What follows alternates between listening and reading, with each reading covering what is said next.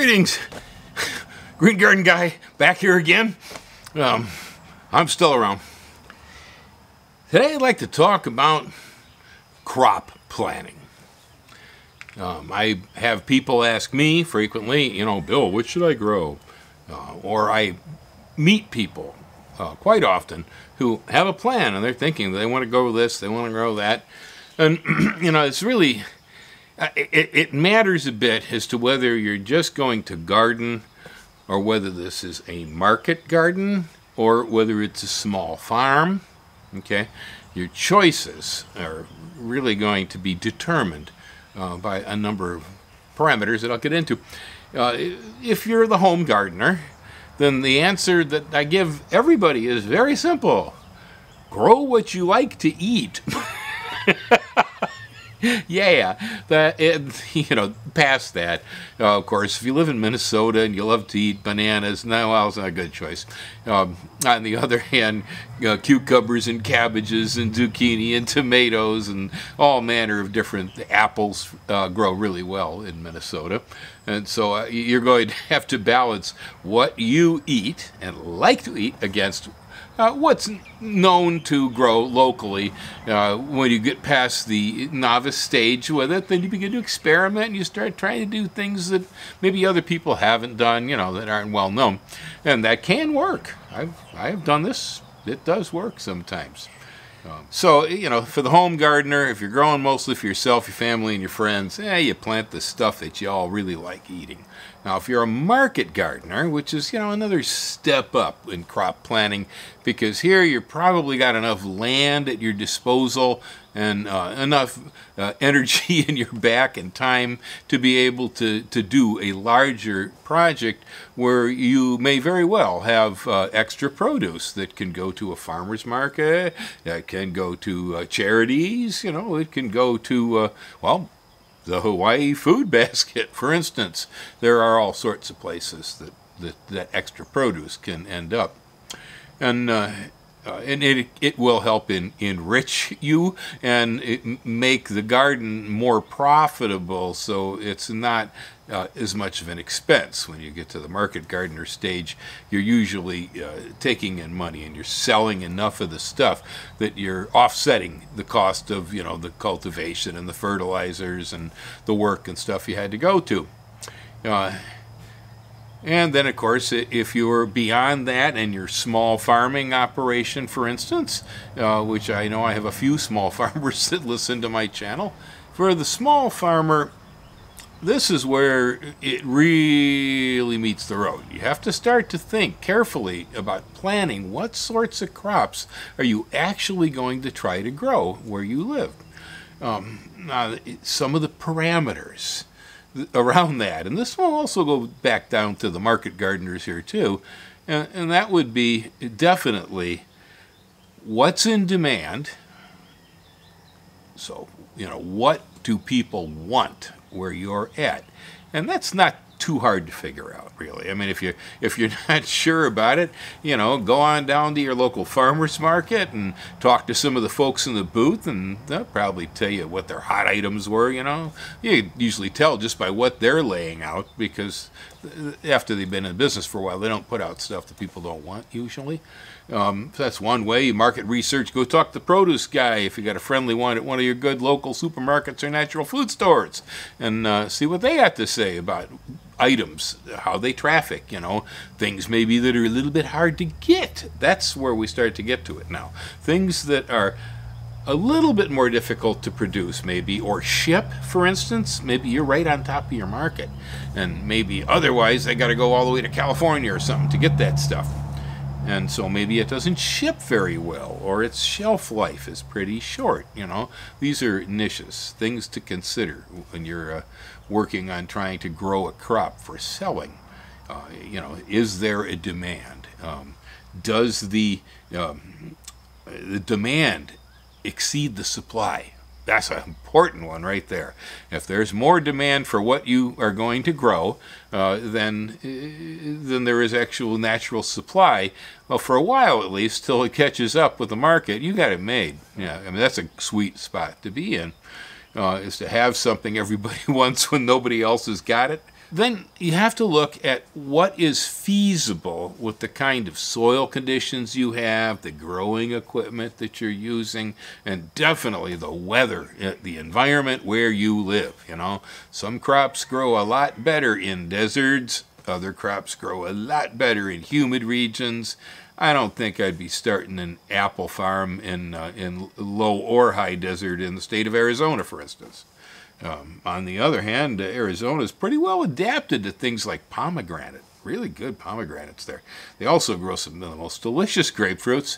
Uh, pecans seem to be pretty good in Arizona for so even though they are native to Illinois, they like the state. You know, so there there are things that will grow in these more desert type climates.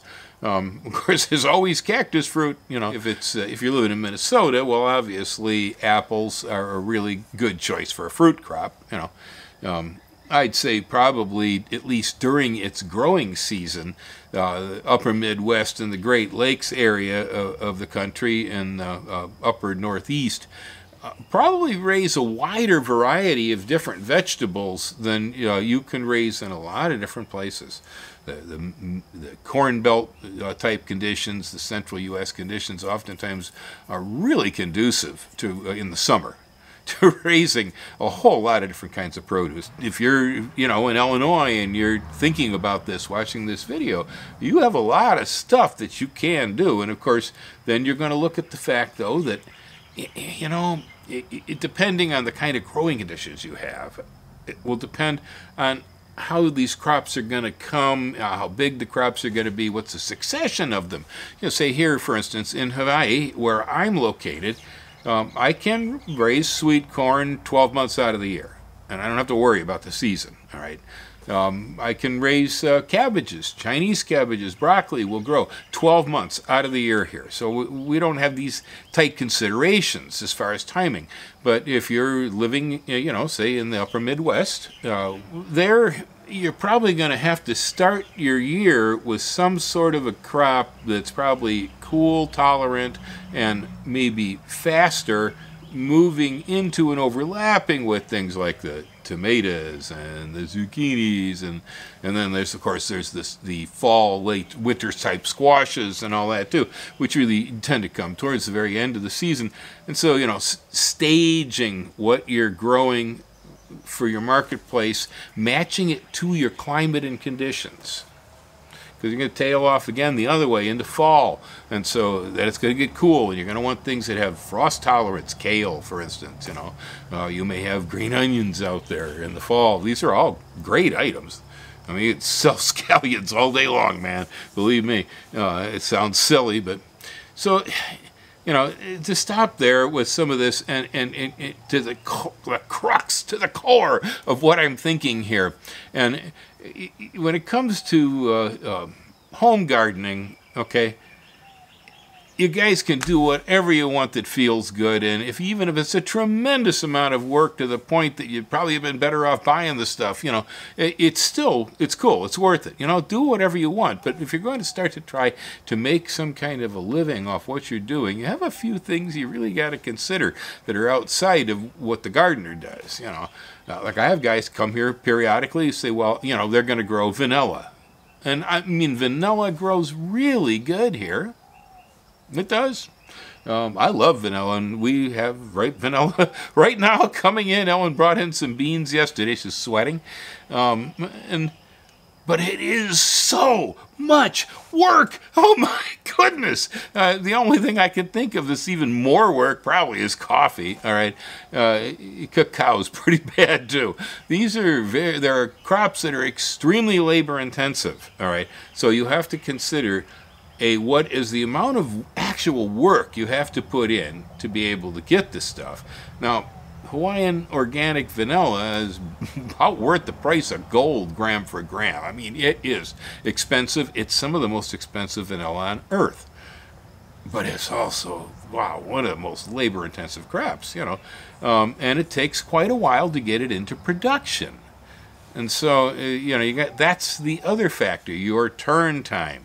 Now, let's say, um, to be very generic about this, let's say in your mind you you want to grow fruit orchards for sale. You know, whether it be uh, citrus groves in California or uh, apple orchards in Michigan, you know, cherries in Oregon, or whatever you're thinking, or mixed orchard crops. Um, no matter what it is that you have in mind, it's going to take you a significant investment in both uh, materials and time to be able to actually get this going. I figure you're going to be waiting probably at least six years before anything really starts to happen on most of these crops. You know, in some cases, you're going to be waiting 10 years or 15 years, you know, or more. Um, you know, the macadamia nuts, for instance, which grow really well here in Hawaii, boy, they took a long time to get to the point where they got a decent crop on them. They're a good tree. They work well here, and there's a market for them. But um, boy, that's it, it's a long turn time. And so, if you're putting all your nuts in one basket, um, you might want to think about diversifying. Things like vegetable truck. All right, one reason that vegetable farming uh, is pretty fairly common and can be reasonably profitable depending on your situation is that the turn time on vegetables is really short. I mean, you know, it only takes you a month to grow a radish. right? In in one month, you're in the radish farming business. Um, so, eh, you know, and broccoli is 60 days or so. You can cut it again, you know, you get another yield off of broccoli, depending on what variety you're raising, and so on. Uh, so you really need to look hard at no matter what your dream is, you know. Like we get people coming here from the mainland with these tropical dreams. Here you are, you're in Hawaii, you know, and uh, certainly there are a number of tropical crops that are, you know, good here you know, bananas. Uh, people are going out of the banana farming business because of the bunchy top virus that got here. Um, I don't know. They're not worth much either. Now, I grow lots of them. I like them. If I had to make my money on bananas, I don't know. it takes a lot of bananas, a lot of acreage to make any money off that crop. Um, it's more profitable as a nursery item raising different varieties of the plants and having them cultivated in pots to sell to people who want to grow bananas, I believe is far more profitable. Actually, probably a little easier too uh, than than raising the fruit itself. There's all these goofy little factors wrapped around stuff, you know. Uh, integrating uh, uh an orchard project with vegetable truck because you can get, like I say, 30 days to a radish, buddy. Might take you 30 years to get a durian tree to fruit, but it's only 30 days for a radish. And there's crops that step up through all that, you know. So these things will tide you over and get you through the lean times while you're waiting for that inevitable uh, end crop. You know, one of the reasons that some of these crops are um, uh, scarce uh, is is just that they're so hard to produce profitably. The pawpaw, which is a favorite fruit of mine, and it'll grow over a lot of the mainland U.S. too. Um, the pawpaw it, it is a really nice Native American fruit tree. It's the largest Native American fruit tree that is the size of the fruit uh, of any anything that we had um, before Europeans settled here, and it has that uh, surprising exotic taste uh of a fruit that doesn't really belong in Paw Paw, Michigan. In your mind, it seems like it should be in Ecuador or something for the flavor of it, because it's most all the relatives are tropical, you know, and it carries that. But uh, the plant takes a long time to come into yield. Um, a whole lot of people out there have no idea yet even what this thing is. Um, it's an odd looking fruit, and oh my God, is it a hard thing to try to get to market? Oh, it's terrible. Uh, it would be, I think, the number one reason why most people won't go into this business. I mean, when I had pawpaw trees in California, I would go out, I would gently pick them by hand, take them from the tree, put them on the counter and go up to them the next morning to have them with my cereal, and I would see brown fingerprints from where I touched the skin. You know, they're that sensitive. So the, the pawpaw is one of the more difficult fruits to handle that I've ever run across. It's it's a rough one. You know, white sapote is pretty bad too that way, but there are ways around these things. You know, it, it, I used to sell all my pawpaws pick your own, and well, that's. that was the easiest way to cope with it because they came, they looked great, they were good in the tree, they picked them, they brought them home, they looked like a dead potato the next morning. Not my problem. you know, so it kind of got me off the hook that way. Pick your own operations are definitely a thing to think about. Uh, you don't see them too much in the western U.S., that's kind of scarce. But it, the eastern United States, um, at least at a time, the pick your own operation was a pretty big deal. Wisconsin, we used to have uh, raspberry farms, pick your own. We had strawberry farms that were pick your own. You know, we would probably do pick your own strawberries here in Hawaii, except the liability of the rat lungworm slug thing. I don't think I want to get into this. Um, but definitely, with the fact that strawberries are way down there on the ground, and my back ain't the best, having to bend over for hours and hours on end uh, to pick strawberries is not my line of work. Don't like it. Um, so, picking raspberries is more my business standing up. Uh, so you know you get it to if you can get people to pick the produce themselves without completely destroying the farm you know, but then you get other liability issues too. So there's a lot of things to think about when you're planting the crop. Uh, it's it's just amazing. Um, I'm sure that half of the things that you all might be confronted with, I'm not even thinking about because they're they're not necessarily on my page from where I'm sitting because uh, there's there's so many different possible factors.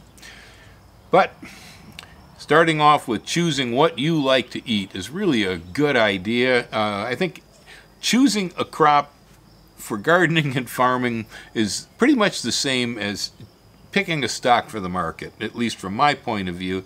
I don't ever pick a stock that I don't already use the product somehow or another, or at least most of the time. So I'd say 80% of my picks are something that I'm intimately involved with anyway and believe in, so I invest in it. Well, it goes the same thing with a crop, you know. Uh, I who's going to plant watermelons really if you hate the things that just doesn't make sense you know you know you're never going to produce beautiful watermelon if you don't really like them and so loving whatever it is that you're getting into uh, ahead of the game because after a few years you got to learn to hate it anyway so you better start off with a little love in your heart yeah uh, anyway so there we go. A little bit about selecting crops. Aloha. Y'all have a great season this year and hang loose.